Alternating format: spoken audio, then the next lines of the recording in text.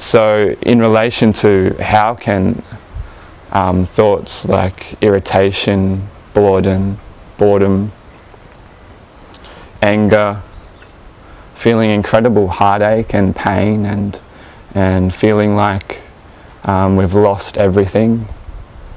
How can these be ultimately beneficial?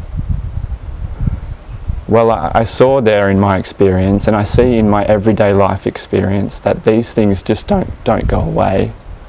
For one, that this is not about a, tr a training that that uh, gets rid of these data streams for us, because then you know, whenever it would come up in my experience, then I've just totally failed, completely failed, because they're always bound to come up, these kind of data streams, whether now or, or when I'm on my deathbed or seeing other people die, which is inevitable.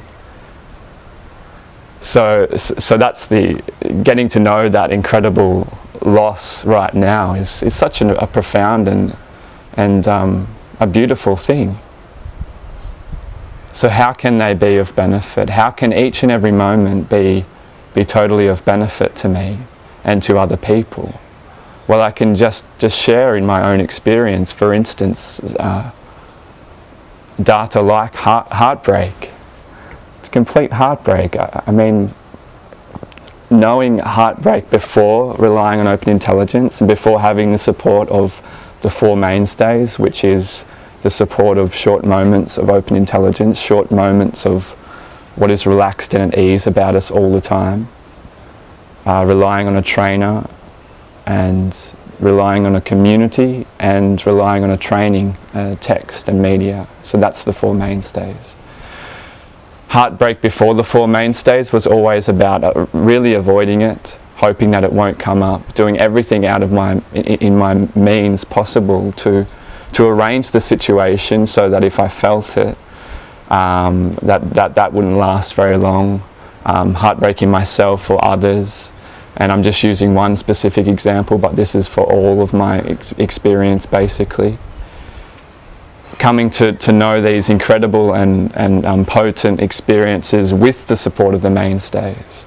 Well, first and foremost, heartbreak, which I did experience uh, after about you know one or two years relying on, on open intelligence. Firstly, it, it built that incredible uh, trust and reliance with my trainer.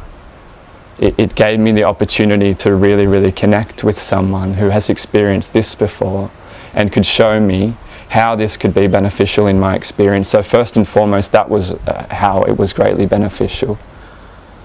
And secondly, I think it responds to, to maybe not telepathy, but uh, knowing what, uh, knowing just where everyone is at, basically.